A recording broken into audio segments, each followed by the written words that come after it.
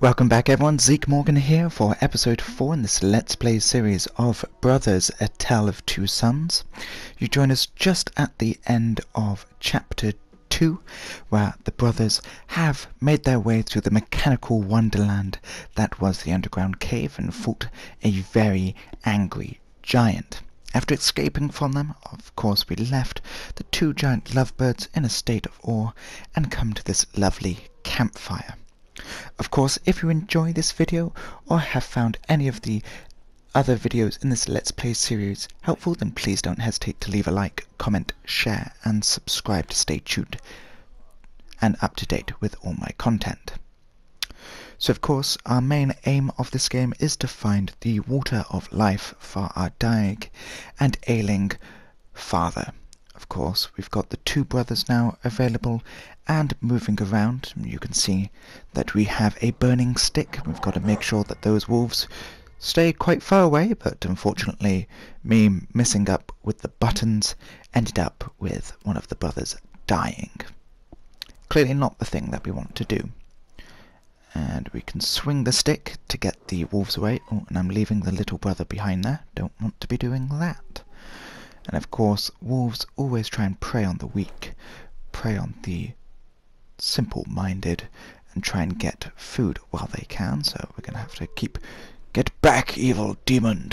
Get back, wolf! No, there we go. I think that actually worked.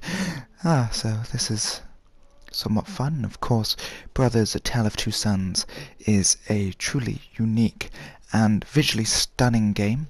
Um, of course, not without its own bad aspects, as you can see there. Um, we've got some people just casually hanging, and this isn't bad for like an age 15 game. Definitely touches on some dark notes, and of course the different colours and visual aspects of the game do give it a nice, rich feel. So there we've got some water down by the right hand side. Of course we're just following this path to what appears to be a cemetery. So that's always fun. Two kids just running around in a cemetery. Clearly nothing ever goes wrong with that. And do do do do do. Of course, utilizing the gameplay mechanic where each brother is controlled by a different thumbstick makes it all the more better. And of course, with any good bell, you just have to ring it. Ding a ling a ling a ling a ling. We've got the graveyard keeper. Who's been ringing my bells? Who is there? Hello, ma'am. Uh, we have a parchment here, and we are trying to find the water of life. She was like, Go through the graveyard if you dare. I'm old, but I look after this graveyard. I clearly have way too much time on my hands to think of accents and voices, so I do apologise about that. Of course, if anyone has played Brothers, A Tale of Two Sons and found the story as engaging and as fun as I have, or if you believe I'm going to end up killing the brothers at some point during this game, then please don't hesitate to uh, leave it in the comments section below. Oh god. Nope. I'm sorry, I'm gonna have to. Bye, wolf. So that is what happens uh, when you get stuck between a wolf and a hard place. And I'm trying to get the little brother to Big Brother right about now because we know he's going to drown.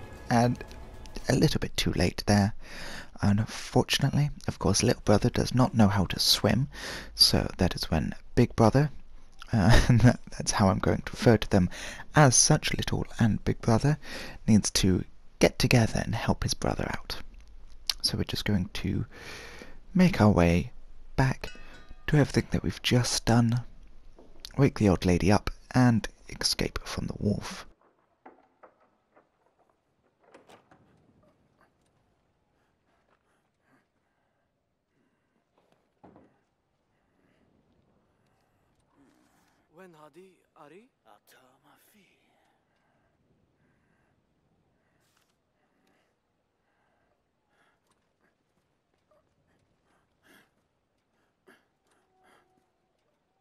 あった。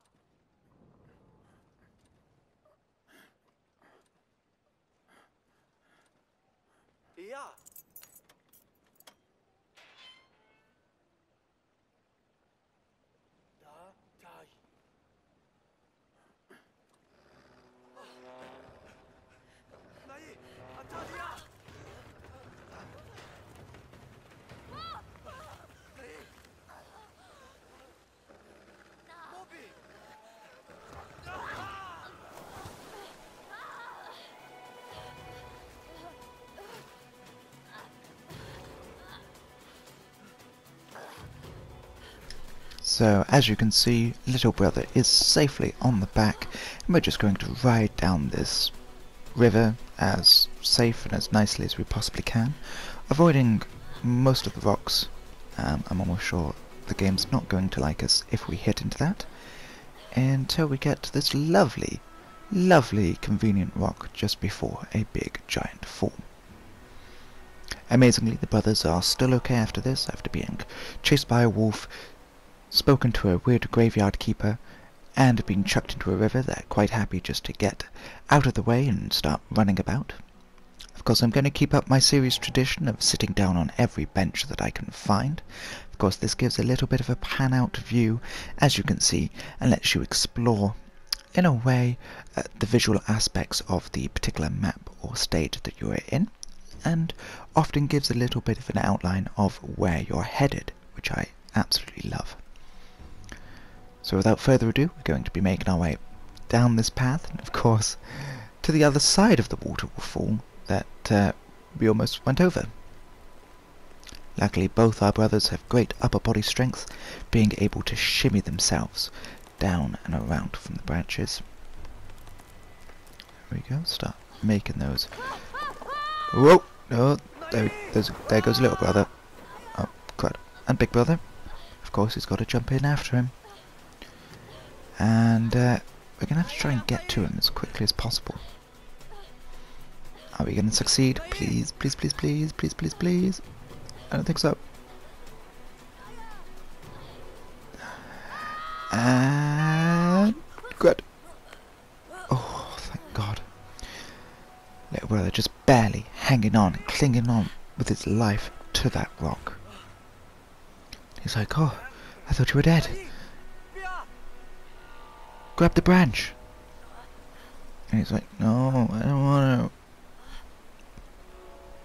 It's definitely one of these games that gets you involved with the characters as best as possible. Oh, yeah. That didn't seem like fun. Of course.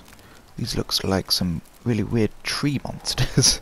so, utilizing both the brothers, we've clearly got to make our way through these branch monsters, which again, this is some dark stuff coming from a child-friendly game. We've had suicide, we've had illness, we've had death, and these creepy bloody tree monsters, which I don't like the look of. I'm a fully grown adult. So just making our way as slowly but as surely as we can, staying out of the reach for the most part for all of these dreaded tree monsters. I'm sure they may have a name, but tree monsters they are being called, and tree monsters I will continue to call them. And... Da, da, da, da, da. Whoop. Oh. Well, that wasn't very nice.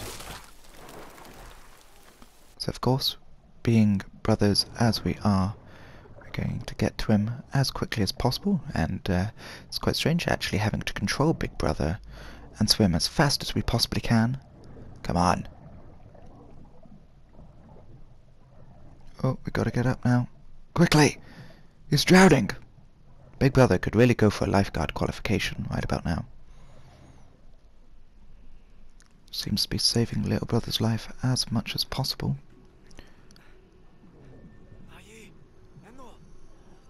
Oh, I'm almost sure that's not how you do CPR, especially not to a drowning victim, but hey, that seemed to work, so I'm not going to complain. Both our brothers in a unique aspect and ready to continue this epic adventure. So, wasting no time, we're going to carry on through this path and come across a weird-ass statue by the looks of it course, that's what I like about Brothers A of Two Sons. It doesn't take itself too seriously. But we have some fun with the unique, vibrant environments, as well as the loving tale between the brothers. This actually looks like a memorandum, uh, memorandum of our mother who died. Of course, um, she died and little brother was unable to save her, thereby giving him his fear of water and his fear of drowning, probably why he can't then swim, but uh, of course, I think I might be reading too much into this. Big Brother in a dazed state. Mm, we should definitely, like, slap him in the face. Our father, this is definitely some kind of hallucination, because our father's back in the village, but according to this, he's under the woman's hand. So this, uh, this just takes the biscuit, it does. Some kind of hazy thing. I don't even know what to think or do. Oh, there we go. Okay, I thought he was going to help, but he's not. Oh, that's... That's not very nice. Um... Wow. Oh, that was a very, very bad dream. Definitely don't want to be reliving that. We also had some domestic violence there as well. As I said, this is a very violent game that uh, clearly doesn't pull any punches. Mind the pun. It keeps you really intrigued. You see, they're both both survived their ordeal, which is absolutely fantastic to see. And of course, with typical Brothers A Tale of Two Sons, we're going to crack on with the episode and try and get through this chapter as quickly as possible. Not that we're running through it for any particular reason, of course we don't want to be doing that, but we're trying to get through it as nice and as nice as we possibly can. Of course this is chapter 3 in the story of Brothers, A Tale of Two Sons. We're going to see how far this story can go. As I said, this is one of these games that touches on several different aspects, and as you can see, this is just some kind of suicide now. Um, definitely something for the brothers, as young as they are, to go through.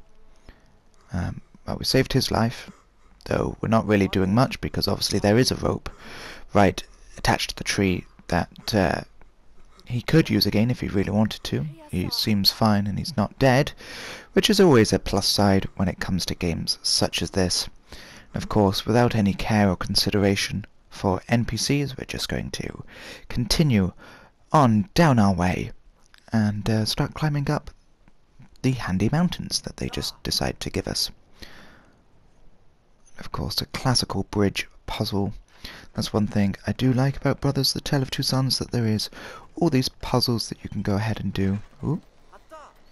And there's switches and levers, and you do often have to think about how each brother interacts with the environment to be able to solve and progress, which is very unique. And definitely something I wasn't expected, or expecting from this game. So as you can see there, utilising the brothers to jump across the windmills to get to the other side to complete the bridge puzzle so we can progress. Absolutely wonderful and helpful for all the right reasons. So the little brother get that bridge across, obviously not putting it all the way, otherwise Big Brother's bridge isn't going to lock onto it. Oh, nope, jumped the gun a little bit there. There we go. And pop that out, drop it down, and it's all locked in place. Whew. Of course, anyone following the brothers will know exactly where they've gone.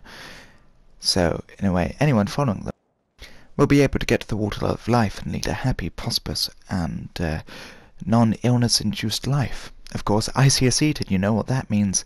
I'm going to have a little bit of a look at the scenery, and I spy with my little eye a castle sitting on top of a hill. So I'm almost sure that's where we're going to be going, and that's where we're going to continue this epic quest with the two brothers. I'm almost quite amazed by the brothers' sense of agility and uh, pretty much intrigued by mannerisms. Nothing seems to faze them, of course, they are trying to save their father, but no ledge is too small for them to shimmy across, no branch is no unstable for them to climb across, and they just go operating all these heavy mechanical machineries with no sort of thought about getting injured or anything. A quick consultation with the map. It's like, right, it says we need to go over here to the castle on the hill. Mm-hmm. Okay, the little brother's like, mm, okay. Uh, yeah, let's let's go up there. Let's go to a crazy hilltop location, which looks so much fun and definitely doesn't have a crazy scientist or a crazy madman willing to kill us. But goats. they clearly said, what does this game need? Mountain goats.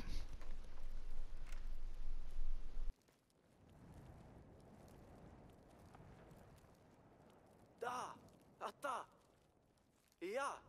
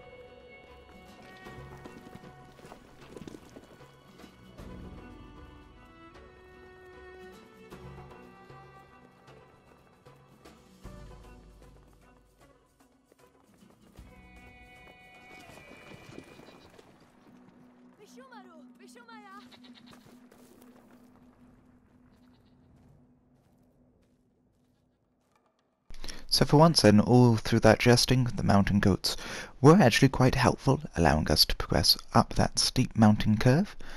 And, uh... Okay, I was joking about the mad scientist, but clearly this wasn't. And a contraption that's missing a cog, which conveniently he has, and isn't able to fix it himself. Unless he's stuck on a platform and he can't climb up. But it looks about the right height. Who knows? So I think what I need to do... Oh, I'm not going to be able to lift him up, am I? I'm clearly looking in completely the wrong direction there. Yes, I definitely was. And catch little brother... Oops. okay. Um, clearly you might need to um, utilize the left and right triggers to be able to chuck it at the brothers.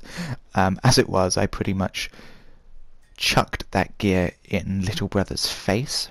Unfortunately, we aren't able to go through the ledge with the gear in tow, so it is going to be a Here, brother! Catch! Boop! As it was almost hit him in the face again. Clearly, uh, this is why I'm the youngest child. Because if I was the oldest, I would be probably chucking mechanical gears at my brothers too.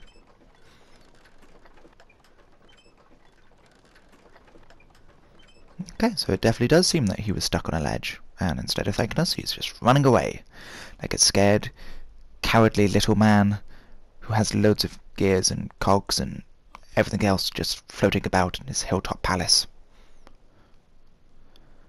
Not really too sure what we need to do here, but uh, it's like, can I use this to fly? And he's like, yeah, yeah, why not? You helped me, so have my Da Vinci flying machine. This is a very weird game just for how um, able-bodied the NPCs are. Just giving you a hand. They don't question the two kids. They're just like, yeah, go, go off, have fun. You know, you may not even know how to use this flying machine, but you'll soon learn pushing it off a ramp. I really don't trust these. Okay, and it looks like we have shimmy bars, so... Uh, what happens if I try and move them left and right? Oh, okay then. So using the brother's weight, I can use that to navigate left and right or flying straight with the flying machine, so... Okie dokie. this doesn't seem too difficult. Just nothing really to avoid just yet. Uh, gotta make sure that I come into this cave the right way, otherwise I might crash spectacularly. And even though as nice and as funny it was to see me fail and have the brothers get eaten by a wolf, and then another one of the brothers drown, I particularly don't want any more deaths on my conscience today. Um, I definitely don't want the brothers succumbing to uh, falls from great height or smashing into rocks on my account. Ah! And of course, dreaded birds um, destroy this flying machine, and I don't know whether I should be going left or right. Am I going to be able to avoid that? That would be a yes. Yes, just just barely avoiding it. But I don't think this is going to quite hold up in time. We're coming in for a hard landing, and whew, luckily we just got there in time. So it definitely looks like we're going to have to get to that open window in the top right, of course. There's where the brothers come in. They are fantastically able-bodied and apt at climbing, no matter what obstacle is in our way. For some reason the big brother thinks the rope's going to help us. Who knows? A simple bowline, and uh, we are off. Ah, I think I know what's going to happen. Instead of us constantly jumping between them, I think what's going to happen is using the rope, you're going to use the brothers as sort of a pendulum to be able to hit um, things that we may not have been able to get, but I suppose we'll find that out. So we're going to have to get the brothers to climb, climb the vines, do do do. And I'm not quite too sure. Whoop! Okay, little brother had a little bit of a slip. He's fine though, still attached. And, oop, there we go. And, okay. Ooh. Ah, I get it, yes. So I was right, going to have to swing them, utilizing, obviously, their momentum to get them to the next part. This looks so fun, I've got to admit. Whee! Luckily that didn't go uh, wrong, otherwise Big Brother would have just flown off then into the darkness. And Little Brother, swing. Whee! They have such great fun. Quite dangerous fun, but fun nonetheless. At least this gives an extra element of uh, protection, just in case you accidentally let go with one brother. Um, you are still going to be able to continue, as long as obviously you get the other brother to hold on. You can always swing yourself back into a position. I've got to say, for such a simple con concept, I seem to be enjoying this uh, pendulum swing between the brothers quite a lot. Uh, it definitely goes to goes to show that I am a child at heart, um, which isn't necessarily a bad thing. Really does help playing games such as this if you are a child, or at least have some fun.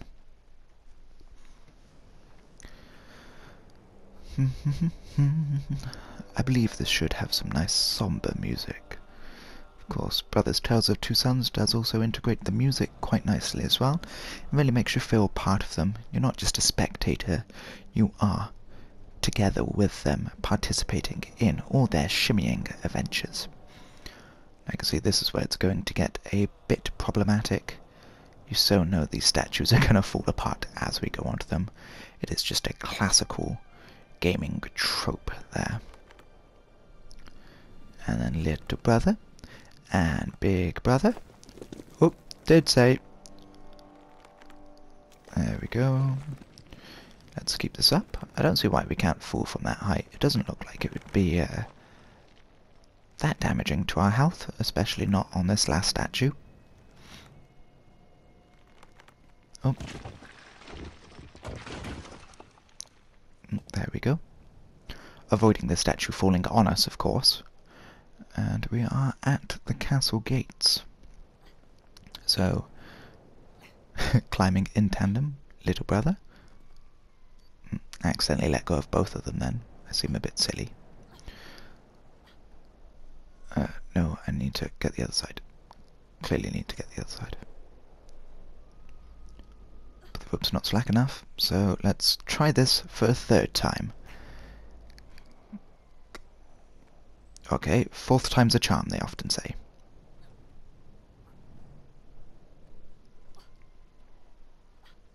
I honestly have no idea what I'm doing right about now. I seem just to be making a right pig's ear of this. Um, can I chance it like this? There we go. Maybe if I get him to fall. Aha! I could have just done this from the get-go. And swing! Get you to climb up. I'm very surprised by how much upper body strength the little brother has. So the big brother should be able to support little brother's weight, but the other way round? That just seems a bit far-fetched and a bit unlikely to me. But of course it is a game. It's meant to be fun. It's meant to be enjoyable. And I'm not going to read too much into it. Of course, if, if you have any thoughts on the situation, please don't hesitate to leave them in the comments section below or send them to me via a private message. I would uh, very much like to hear your thoughts on this. Likewise, as I said at the beginning, if you have played Brothers A Tale of Two Sons, please don't hesitate to let me know your thoughts in the comments section below. And tell me what goodies and uh, other things, obviously keeping it as spoiler free as you can. Uh, let me know what I've got left to look forward to with regards to this. Oop, there we go. And we are in.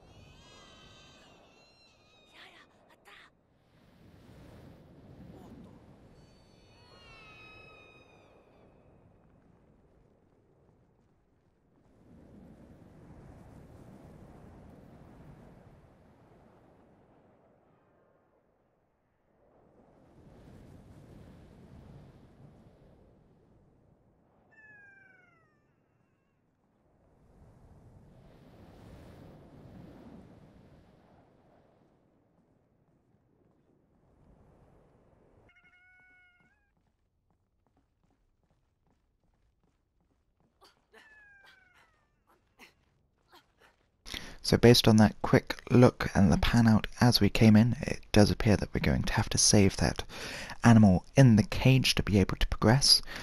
Um, gotta say, this is turning into quite a long chapter, so I may cut this into two separate videos. Hopefully you don't mind, but obviously I don't want to keep you in suspense too much with regards to our continued adventures in this fourth episode in this Let's Play series of Brothers, A Tale of Two Sons. Continuing our climbing and jumping adventures. We are obviously going to have to get round it. And little brother wasting no time climbing through those bars to get around. And of course climbing across the windowsill. Big brother's just basically standing still and watching him do it, which I wouldn't say I'd necessarily agree with, but gonna need his weight now to pull him down. Hopefully I can uh, reach up and grab little brother's legs. Oh, no. That was completely and utterly my fault. I do apologize, little brother. Um, I was too busy looking at us in a magnifying glass, which is conveniently just on the side of this. Um, don't even know who lives in this tower, but we're just about to steal his uh, captive animal. Which, uh, I wouldn't even know what you would call it. It's sort of a... It, it has wings, so it's got to be some kind of bird. But then it's got like a rat's face. Not that I've seen many rats' faces, but... Or more like a squirrel? I honestly don't know. I'm so confused. Big Brother just pointing, like, no, I must go over there. Grab his legs. There we go, got his legs. And with that, the cage is now up, and we should be able to save this owl thing. I didn't know owls had tails like that. But seems hurt nonetheless. Of course, doing our bit for the uh, NSPCA and going to rescue it from its injured, ooh, ouch, abusive owner. Of course, it's going to lend a wing to let us get out of there, which is always nice.